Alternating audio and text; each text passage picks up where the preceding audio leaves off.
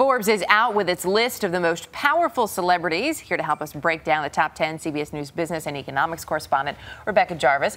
Good morning. Good morning. Some some tried and tested names on the list and a few new ones. Some tried and tested names like, for example, Oprah, who right. topped the list again. She's done it three times in four years, over $300 million deposited into her empire in the last year. So, of Not course, bad. that's a big one. Um, some of the names, though, that you might find surprising on the list. Some are surprising. So if we start, if we look through the top 10 starting at starting at number 10, I think we have a list of the 10 through 10 through 6. Some of them you'd expect. Madonna obviously is there. Uh, Sandra Bullock, the band U2 I thought was interesting. But at number 6, Britney Spears.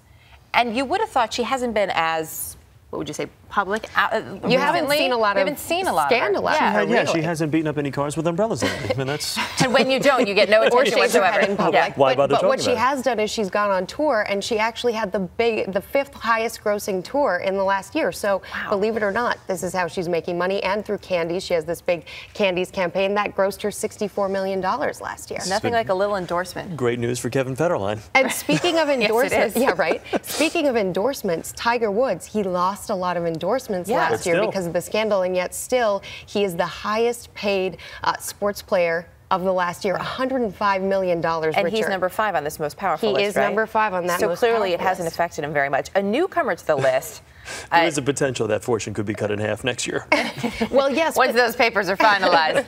but yes, good point. That'll be the next installment. Uh, Lady Gaga, though, coming in at number four. And this is, is this her first time on the list? This is her first time on the list. She had a huge tour, grossed $100 million in the last year. That banked her $62 million.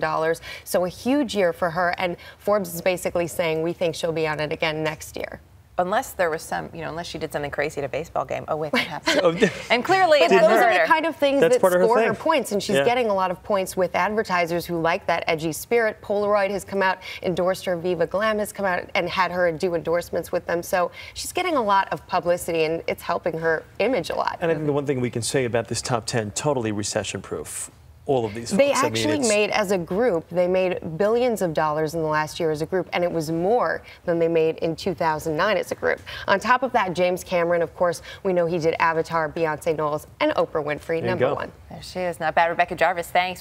A lot happens early on The Early Show, weekday mornings on CBS.